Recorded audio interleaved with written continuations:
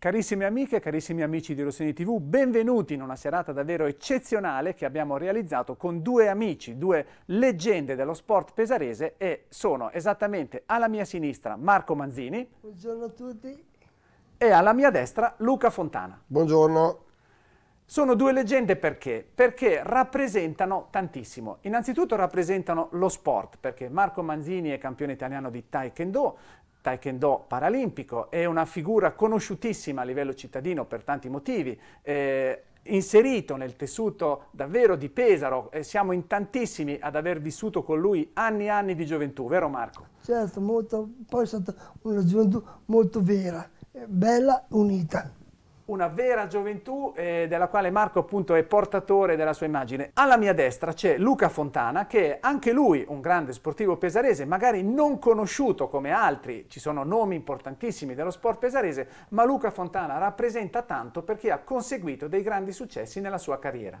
Sì, e, ehm, diciamo che questi sono oggi, a quest'anno sono 40 anni che pratico, più di 40 anni che pratico attività mh, da combattimento, quindi tra eh, kickbox e, e, e, taekwondo e ho sempre gareggiato, ho sempre fatto attività agonistica. E, e oltretutto un'attività agonistica che ho passato poi ai ragazzi, e quindi abbiamo atleti d'alto livello, società campione d'Italia per due volte negli ultimi mh, 5 anni. Abbiamo svariati titoli italiani, titoli universitari, eh, Coppa Italia vinte.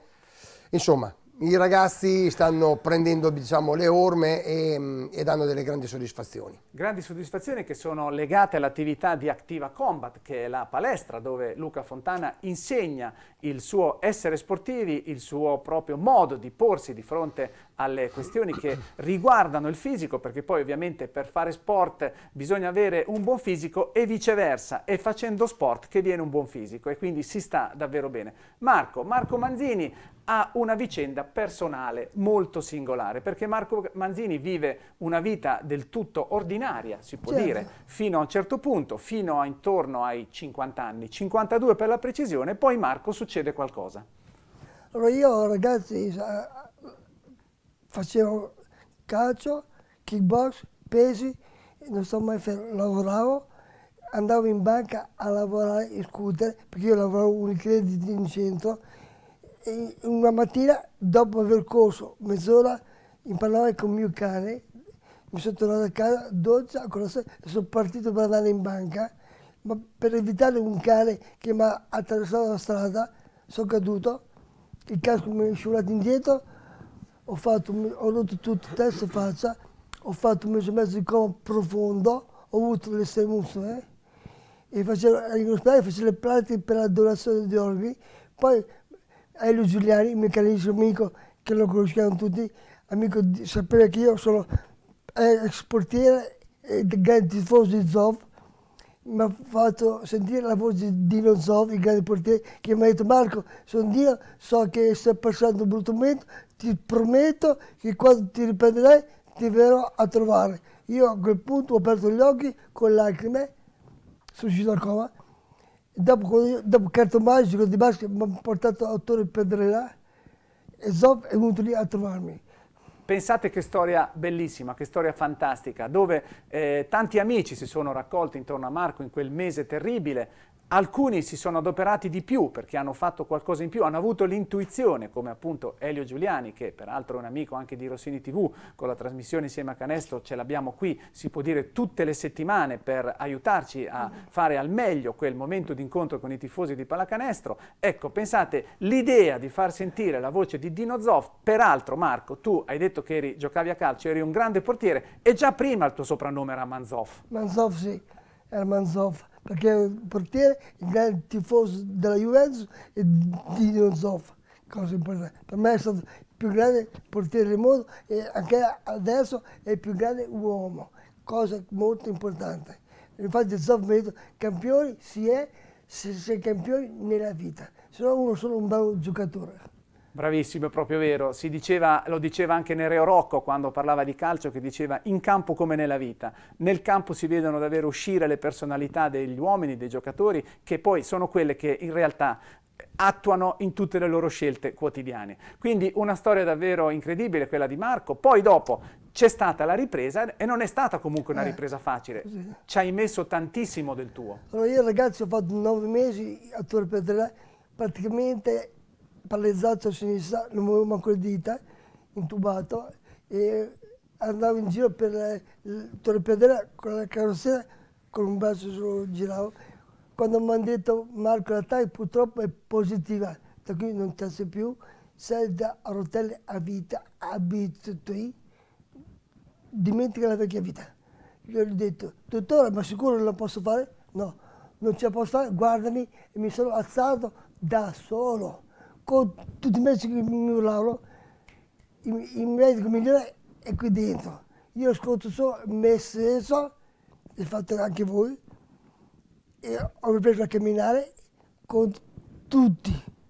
Adesso cammino, guido, sono tornato in banca, faccio taekwondo a livelli buoni con il grande maestro Luca Fontana, che oltretutto è il mio grande amico e anche il mio mentor coach, che è molto importante perché nello sport, come nella vita, è la testa conta, non i muscoli.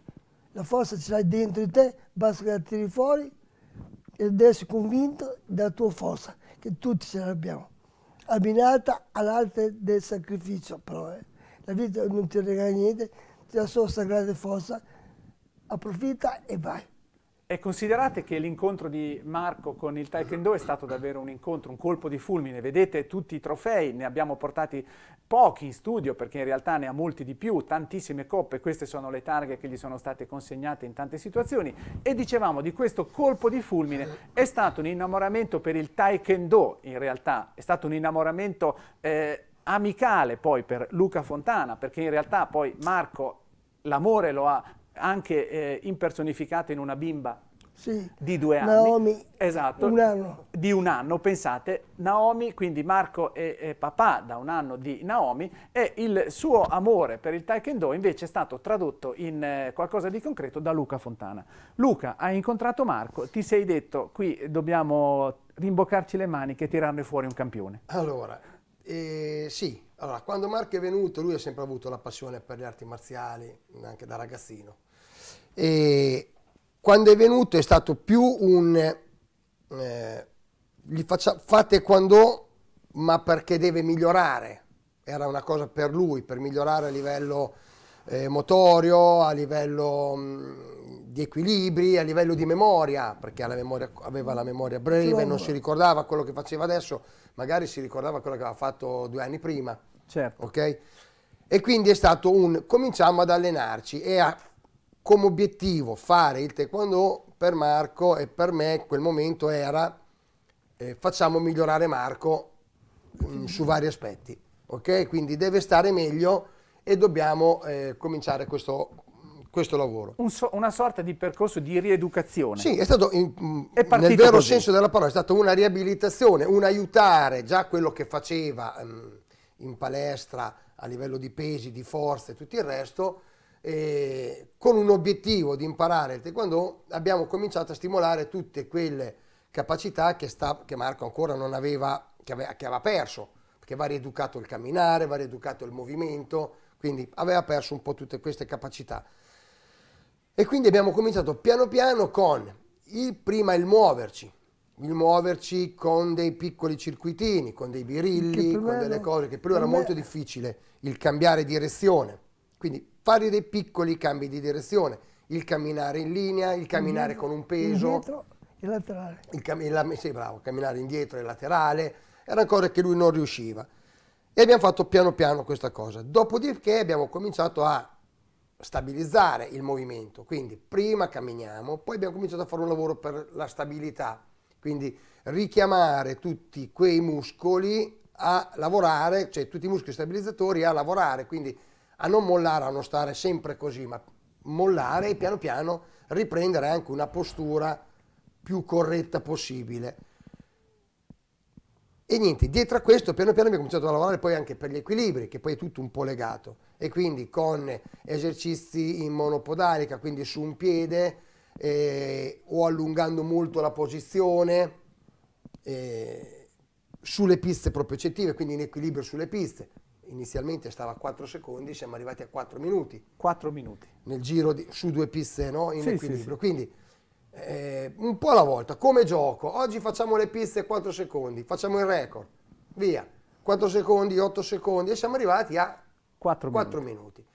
Dopodiché abbiamo cominciato a lavorare invece sul, diciamo sulla tecnica, eh, perché ovviamente con la disabilità di Marco difficilmente porti un calcio vero, ok? Quindi Marco non porta calci veri, però simula bene una tecnica, quindi il movimento della tecnica l'abbiamo migliorato e ampliato, ok? Quindi tira bene il pugno, tira su la gamba e prova ad allungarla Certo. anche per quello che riesce ad allungare perché completamente non la distende e ovviamente per fare questo deve stare su una gamba. Molte volte per fare un laterale deve stare sulla gamba girando il piede sotto, quindi in sintonia, in sincronia deve lavorare sul, sul movimento, sulla catena cinetica che porta poi alla, alla tecnica. Fatto questo abbiamo cominciato a pensare alla memoria, ok? Quindi, Quindi un, per- cominciamo un- le forme. un percorso davvero lungo e complesso. Sì, le forme a lui sono noiose, erano quella volta. E allora che abbiamo detto? Marchino, cominciamo a fare le gare. Quindi lui la gara già, cazzo, allora, allora vinco. No, e lui è un competitivo e quindi iniziando a provare la gara abbiamo cominciato a parlare le prime forme. Le forme si sviluppano in- sui quattro lati, no? quindi avanti, lato, eh, lato, avanti, lato, dietro. Ci sono dei movimenti prestabiliti su tutte le direzioni proprio avanti, c'hanno proprio degli schemi, no? ogni forma ha il suo schema. E hanno movimenti con all'interno delle tecniche, tecniche di calcio, tecniche di pugno, parate, parata media, parata alta, eh, parata bassa, parata di taglio e via dicendo. Quindi dietro a questo abbiamo cominciato a imparare la prima, a imparare la seconda, poi abbiamo saltato la quarta perché è una forma che a lui non, non riusciva magari. E abbiamo fatto la quinta. E, e quindi la terza e la quinta poi le abbiamo portate in gara. E abbiamo sono- fatto le prime gare E sono arrivati i risultati. e sono arrivati tutti i E risultati sono che arrivati poi- tutti i risultati. Marco, elencaci qualcuna delle tue vittorie, perché è bello sapere appunto che tu ti sei messo in gioco, hai seguito i Il grande consigli e gli maestro, insegnamenti di Luca, del grande maestro, e hai raggiunto i risultati che in realtà forse neanche tu ti aspettavi di raggiungere. Allora, io sicuramente se ero mm, non disabile i risultati non li prendevo prima perché il livello è molto molto alto e poi eh, però nella vita devi sempre avere un obiettivo ti dà lo stimolo di lottare, di andare avanti, di sacrificarti. Io l'ho fatto molto perché sono amante delle arti marziali, perché oltretutto, oltre che il corpo, aiuta anche la mente e, e dentro, la serenità, sentirsi forte, che è molto molto importante, sentirsi forte, padrone di se stessi.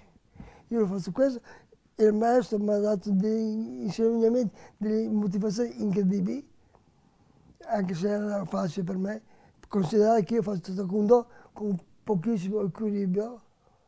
Lui l'ha tante volte, lui che mi ha raccolto, però non importa. Io, non- io cado e mi rialzo. E sei campione italiano. Sono campione italiano, ho fatto terzo agli europei Open, che è un mondialito, con la Costa Rotta a a Bari 2019. Cintura nera, secondo Dan. Io, e la mia vita più grande è essere lì, in mezzo agli atleti.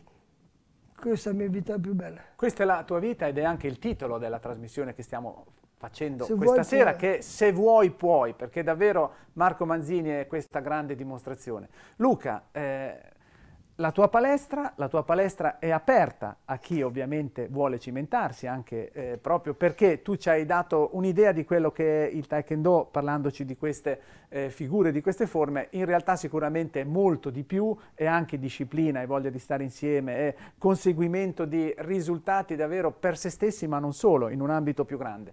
Quindi eh, il Taekwondo, entriamo anche un attimo meglio per capire questo sport. Quando si parla di arti marziali, arti marziali, attacco, difesa, eh, in realtà Qual è il grande segreto di, queste, di questo sport, che, di questi tanti sport che poi, soprattutto in Oriente, davvero Corea, Giappone, tu hai conseguito anche dei titoli in Corea molto sì. importanti, esatto, è pregnante nella vita di, di, di, di, queste grandi culture?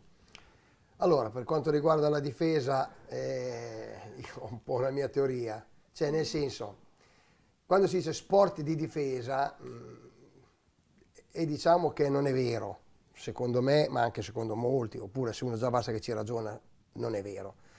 Non è vero perché? Perché mm, in teoria non è mai una difesa, è una difesa perché io vengo attaccato, ma se vengo attaccato posso fuggire, in teoria. E quindi ogni volta che uno mi dà uno schiaffo o mi mh, mm, prende per il collo, ok? Io in quel momento Teoricamente mi difendo, ma la tecnica che faccio è una tecnica di attacco. Ok? Quindi eh, io, lui mi aggancia, io prendo, tiro il pugno. La mia non è una difesa, la mia è un contrattacco. Ok? Quindi mh, mm, quel fatto che magari uno va lì per difendersi, eh, diciamo che è vero da una parte, ma non è proprio del tutto corretto. Ok. Secondo me. Chiaramente non so se mi sono spiegato. Ti sei spiegato molto bene, nel senso che poi dopo chiaramente la difesa si trasforma in attacco nel momento appunto in cui ci troviamo in una situazione di emergenza nella quale dobbiamo reagire sì. a un pericolo. Ma al di là dell'aspetto puramente fisico, l'abbiamo detto e l'hai spiegato benissimo prima, è uno sport, il taekwondo come gli altri appunto, come le altre arti marziali, di grandissima disciplina mentale, perché ti mette di fronte ai tuoi limiti e alla tua voglia di migliorare proprio il il tuo fisico e la, tua, e la reazione del tuo fisico? Sicuramente la, la cosa principale che, mh, mm, che un'arte marziale, uno sport da combattimento dà è il miglioramento dell'autostima. Quindi eh, noi miglioriamo molto con la testa e se miglioriamo molto con la testa miglioriamo molto fisicamente perché la spinta, diciamo il, il, l'arrivare al, sempre al limite delle nostre possibilità, capacità di quel momento, perché il nostro limite potrebbe essere anche eh, un minuto di allenamento, noi arriviamo a quel minuto perché la volta dopo dobbiamo arrivare a due minuti. E per farlo ci vuole sudore, ci vuole costanza, ci vuole sacrificio, dolore, perché poi dolori muscolari, colpi che prendi che non, non fanno bene, insomma si certo. sentono. E, e quello aiuta molto, ma molto visto, molto aiuto specialmente lo dà a chi diciamo è quello mh, mm, timido, quello che... Mh, mm, quelli che, de- deve quelli che hanno un po' problemi di, di, di, socialità anche. Che deve tirar fuori se stesso. Bravo, quello, che, esatto. quello quella che deve tirare fuori se stesso, perché da noi, almeno nella nostra palestra, la cosa principale è il rispetto per tutti.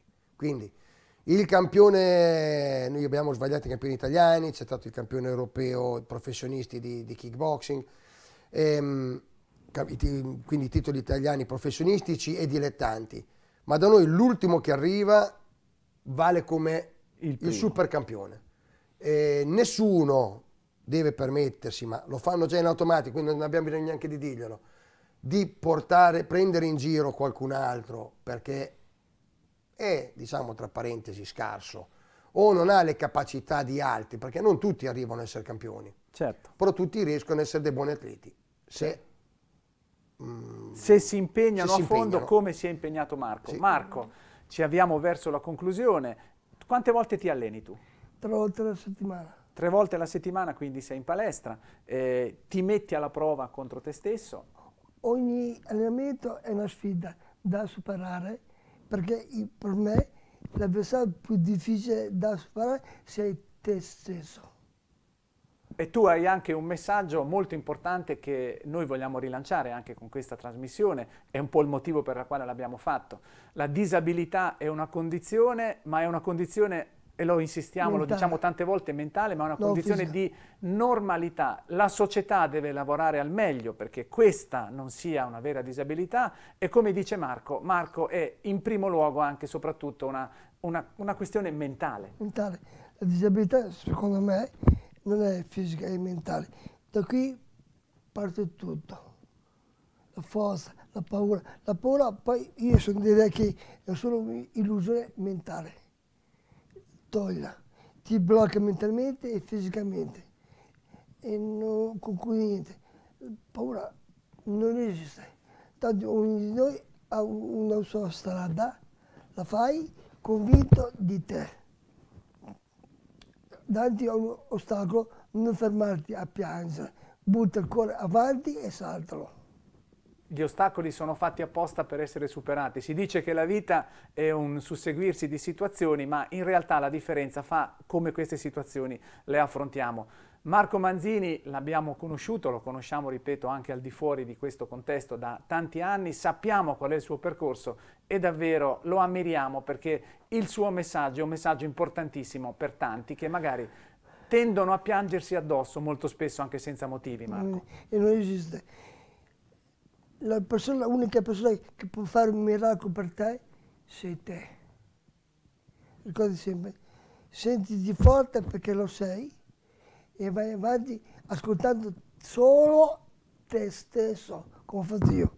Mi sono alzato da sedia all'hotel quando era positiva, ho vissuto quando ero morto, sono diventato campione italiano dopo varie gare che ce l'ho fatta, sono in nazionale italiana sono anche metal coach della sala italiana paralimpica, ho fatto anche, faccio anche il motivatore per ragazzi disabili. Io sto vicino alla gente che so perché la mente cura anche il corpo.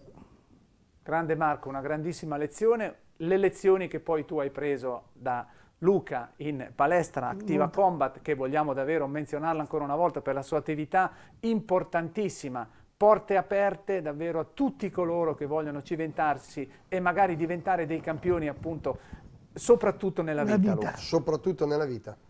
Quindi la cosa principale è allenatevi, eh, da noi, da altre parti, importante è che i ragazzi facciano attività e che i, i vari istruttori, i vari allenatori, i vari maestri insegnino a tutti eh, proprio il rispetto degli altri e mh, mm, il comportamento esterno più che interno alla palestra. Quindi che si, far diventare campioni i ragazzi fuori prima e poi sicuramente in palestra diventeranno campioni veri.